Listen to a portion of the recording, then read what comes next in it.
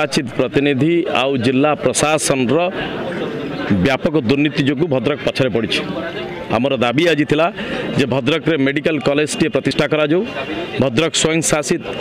महाविद्यालय को तुरंत विश्वविद्यालय मान्यता प्रदान करा जो कारण रेभेन्सा पर सब बड़ कैंपस हो भद्रक कलेज भद्रक रे एक अत्याधुनिक स्टेडियम आउ स्पोर्ट्स कम्प्लेक्स निर्माण करा जो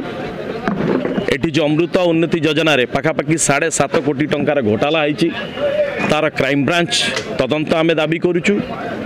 তাছাড়া ফেকর পাওয়ার প্লান্ট যে হয়েছি এটি প্রদূষণ ব্যাপক মাত্রার হচ্ছে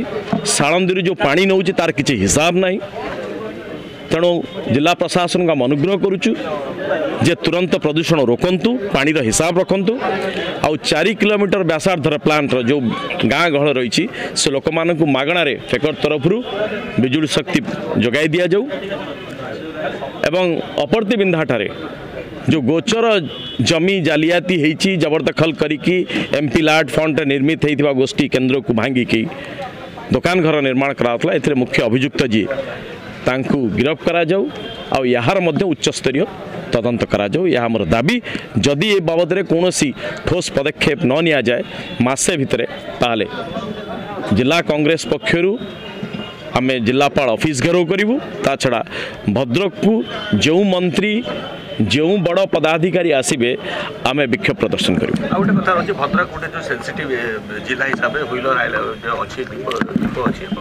हाइद्राबाद पर भद्रक संख्यालघु सेकेंड आसे कौन ए दिगरे किसी ଓଡ଼ିଶା ସରକାରଙ୍କୁ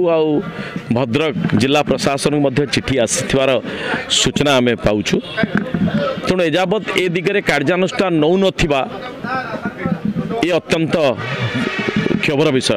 ୟା ଭିତରେ କିଛି ନା କିଛି ମନ୍ଦ ଉଦ୍ଦେଶ୍ୟ ଅଛି